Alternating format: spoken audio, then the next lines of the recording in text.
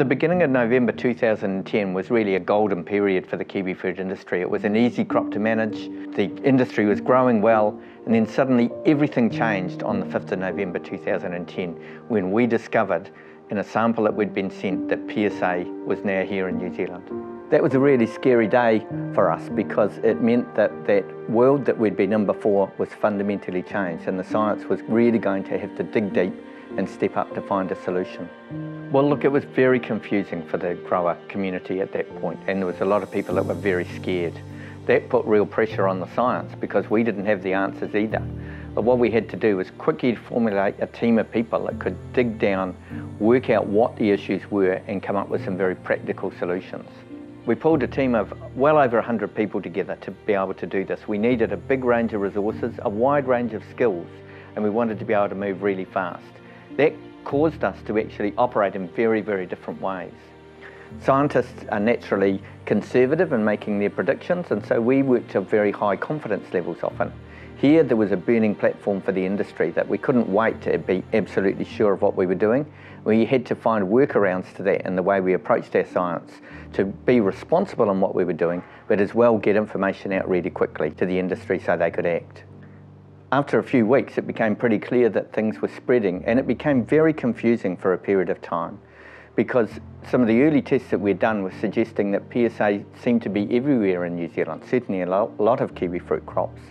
And that didn't make sense because this very serious disease only appeared on a few orchards until we realised we were actually dealing with two variants of exactly the same thing, two variants of, of the bacterium one that was being very devastating and one that had a more minor effect. And that was a breakthrough point, really one of the first breakthroughs of the science to help to understand what this actually meant. Soon it became pretty clear that eradication wasn't an option and we needed to swing into a new phase for the science which was about living with PSA. How do we live through it and beat it in a sense that it's going to be here all the time but we've got new ways of doing it. Now that's a, a huge challenge for the industry and for the science to come up with a completely new way of growing kiwi fruit that was very, very different from what it had been up to that point in November 2010. One of the things that we had to do here was screen through a huge amount of germplasm to look for what might be a more tolerant variety than the existing Hort 16A variety that was falling over quickly with the disease.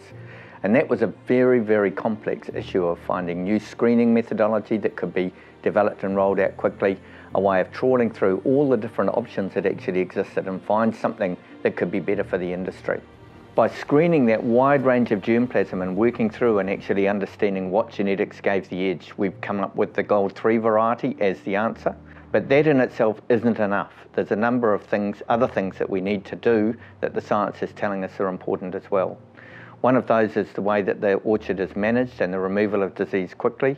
Another is actually managing the disease when the risk periods actually come about so that that can be overcome and use of different approaches to actually develop that. And at the moment, we're working on a new generation of disease management tools that can actually be used as well. So forecasting when there are risk periods and bringing in new ways of actually controlling the disease that are acceptable to the consumers and acceptable to markets is a big part of living with PSA. What this incursion meant for us is we've actually come up now with a whole new way of designing tests of doing our science that's faster, that's more responsive, and that's really changed the game for us in the way that we do our science. And that's positioned us very well to be able to cope with future incursions like this. And it's also positioned us very well for taking our science forward to really position New Zealand at the forefront here.